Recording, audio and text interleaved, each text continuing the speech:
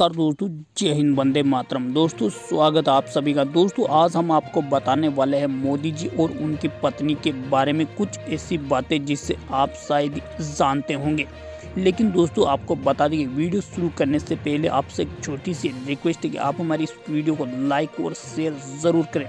दोस्तों, जैसा कि आप सही, सभी जानते हैं कि मोदी जी ने कई साल हो गए अपना घर और परिवार छोड़े हुए ऐसे में दोस्तों, आपको बता दें कि मोदी जी की जो शादी है वो लगभग के बाईस या तेईस साल की उम्र में थे, तब की उनकी शादी हो गई थी। वहीं दोस्तों, आपको बता दें कि जब मोदी जी बाईस, तेईस साल की उम्र में थे, तब उनकी पत्नी यानी जसोदा बेन की उम्र थी, जो सत्रह साल थी। हालाँकि दोस्तों, आपको बता दें कि मोदी जी है जो चार बार हज के गुजरात के मुख्यमंत्री रह चुके थे और ऐसे में दोस्तों, आपको बता दें कि वो दोबारा हज के प्रधानमंत्री बन चुके हैं और आपको बता दें कि वो लगातार है देश की सेवा करते जा रहे हैं। ऐसे में दोस्तों आपको बता दें कि मोदी जी जब शादी हुई तो लग लग, लगभग है जो तीन साल तक जो उनकी शादी चली थी। और इसी बा, इसी बीच आपको बता दें कि उनकी पत्नी ने बताया है कि खाली तीन साल में आज उनका सिर्फ़ तीन महीने का साथ रहा था। ऐसे में दोस्तों आपको बता दें कि फिर मोदी जी एजुके संघ के कार्यक्रम में चले गए थे और फिर धीरे धीरे और मोदी और जसोदा बहन के बीच की दूरियाँ बढ़ने लगी थी। आपको बता दें कि एक सवाल में पूछी गई जसोदा बेन से कि उन्होंने बताया है कि क्या कभी मोदी जी से उनका झगड़ा हुआ? तो मोदी जी की पत्नी ने बताया कि हमारा कभी भी झगड़ा नहीं हुआ था। ऐसे में दोस्तों, आपको बता दें कि मोदी जी संघ के कार्यक्रम में चले गए थे और मोदी जी की जो पत्नी है, वो अपने मायके यानी पीर चली गई थी। दोस्तों, आपको बता दें कि मोदी जी है जो कि उनका शुरू से ये विचार रहा है कि वो राजनीतिक में आकर है, जो कि अपने देश की सेवा करना चाहते हैं।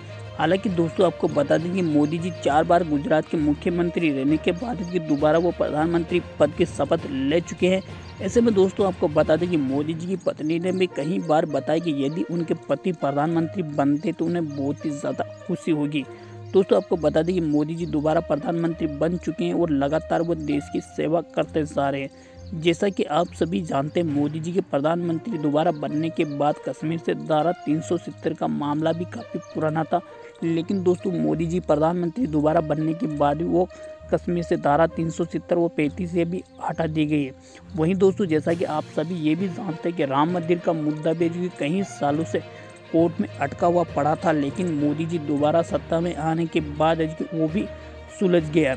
आपको बता दें कि इस समय है जो कि बीजेपी देश की सबसे बड़ी पार्टी उभर कर उभरी है। वहीं दोस्तों, आपको बता दें कि जब से मोदी जी ने प्रधानमंत्री पद की कमान संभाली है, तब से आज के बीजेपी ने कहीं राज्यों में आज अपनी जीत हासिल की और कहीं राज्यों में अपनी सरकार बनाई है। हालाँकि दोस्तों, आपको बता दें कि मोदी जी ने आज दोनों ही बार आज के प्रधानमंत्री पद बने हैं, तब आज उन्होंने फुल बहुमत के साथ आज सत्ता में वापसी की थी। हालाँकि अब आपको बता दें कि मोदी जी को जब भी समय मिलता है तो हालाँकि वह जी अपनी माता जी और उनके परिवार वालों से मुलाकात करने ज़रूर जाते हैं।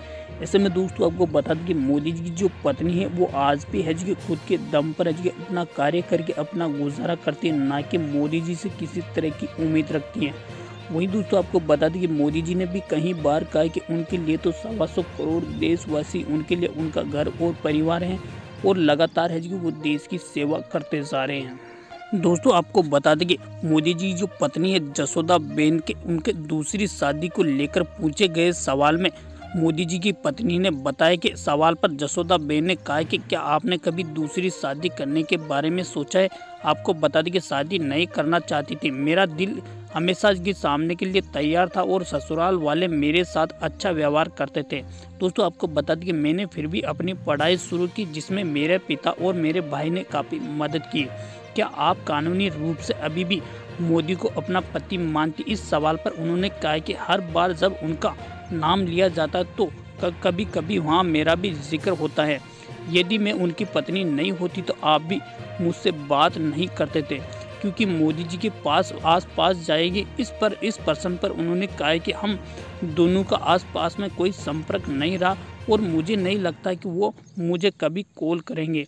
उन्होंने कहा कि मैं भी कहाँ रहूँगी, उससे मेरा इरादा है कि नुकसान पहुँचाने का नहीं था। आपको बता दें कि केवल इतना ही चाहती हूँ कि वो जो भी कर रहे हैं, उनमें आगे मैं बढ़ूँ और पता चला कि वो एक दिन देश के प्रधानमंत्री ज़रूर बनेंगे। दोस्तों, आपको बता दें कि वीडियो अच्छी लगी हो तो इसे लाइक और शेयर ज़रूर करें और आप हमें अपनी कमेंट बॉक्स में अपनी राय कमेंट करके ज़रूर बताएँ। तब तक के लिए नमस्कार दोस्तों, जय हिंद, वंदे मातरम।